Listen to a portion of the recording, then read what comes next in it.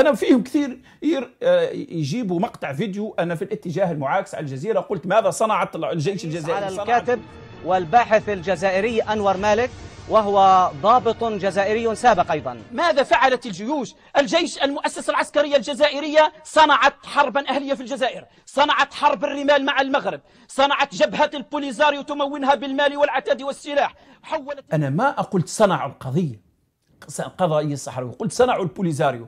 أنا كان قصدي في ذلك الوقت أن البوليزاريو وصل إلى مكانة معينة وصار عضو في الاتحاد الإفريقي وأوصل قضيته إلى الأمم المتحدة. من ساعده في ذلك؟ ساعدته الجزائر. والجزائر لا تنكر ذلك ولا الصحراويين ينكرون ذلك. لذلك أنا قلت هذه الحقيقة اللي موجودة وما زلت أقولها. أقول بأن الجزائر هي اللي دعمت البوليزاريو دعمته ماديا ودعمته سياسيا ودبلوماسيا ودعمته واستقبلته على أرضه ووفرت له مكان للصحراويين ووفرت إقامة لهم ووفرت لهم حتى جوازات يسافرون بها. الجزائر تبنت هذه القضية لم تخفيها.